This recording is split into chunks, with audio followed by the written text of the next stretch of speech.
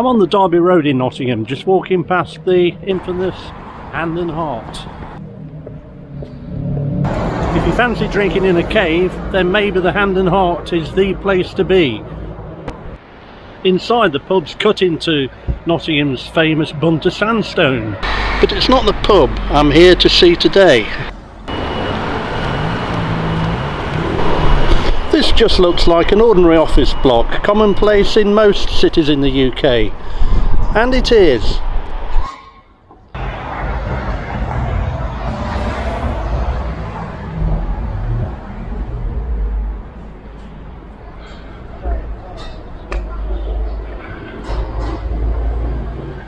A short walk from the main drag of the busy Derby Road leads you to an amenity that's not so obvious from the pavement.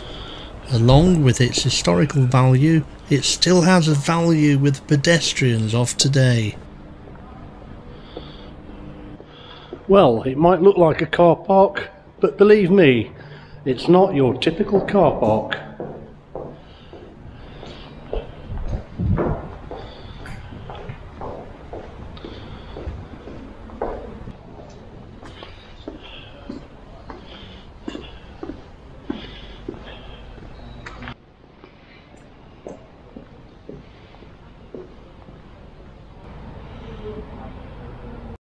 This is the main entrance to the park tunnel.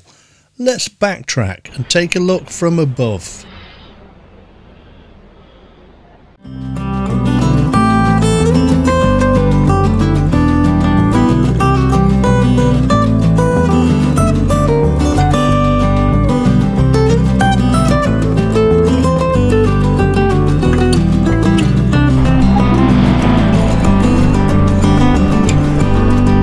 Walking back, if we come around the corner here onto Upper College Street, we make the ascent to the brow, to the top of the tunnel opening.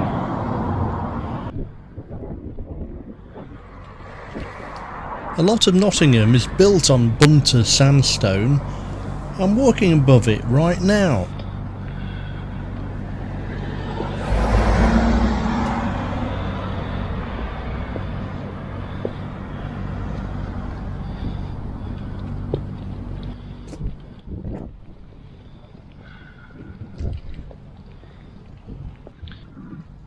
I'm surrounded by a motley mix of modern buildings and a plethora of those from a bygone era.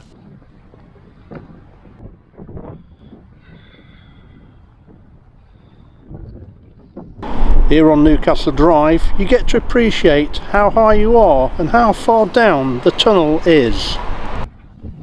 It was designed by Thomas Hine, a famous Nottingham architect, and built in 1855.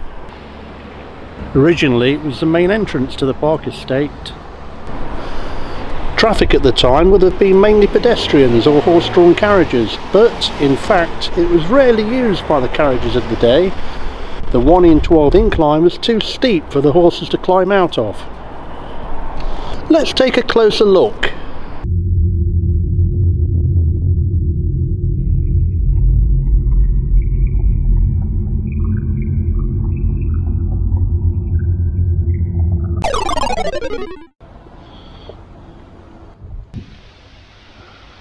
You don't appreciate the enormity of this vast cavernous opening until you see it in person.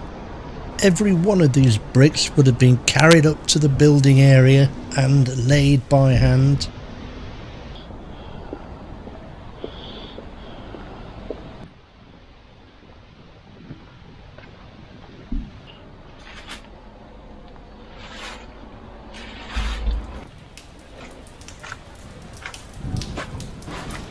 As you wind down the staircase by this disheveled brickwork, you get the feel of what it would have been like in Victorian times.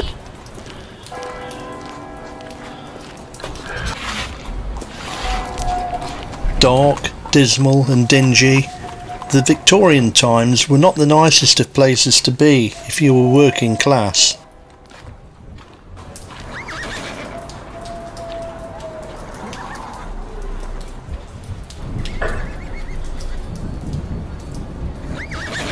The living conditions were poor, The working hours were long and for some the basic needs of survival, such as food, were hard to come by.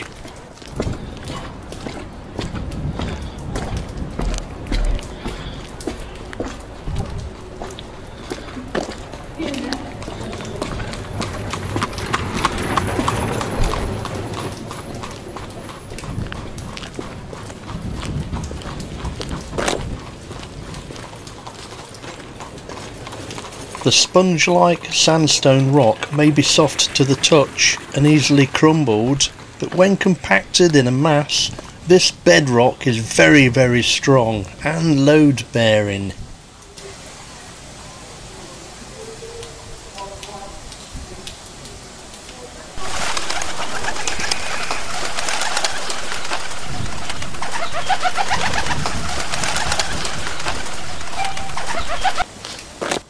And of course in Victorian times all of this would have been cut out by hand with picks and shovels.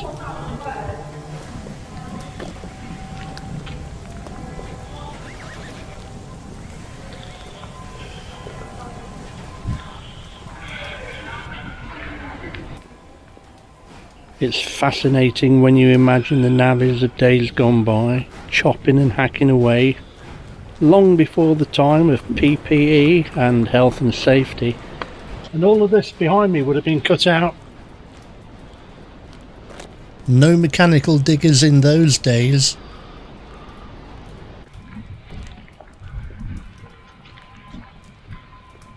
As we finish our journey and leave this leaved lined footpath, this is where old meets new. Who would have thought it? You emerge from a tunnel in the middle of what looks like a modern day housing estate.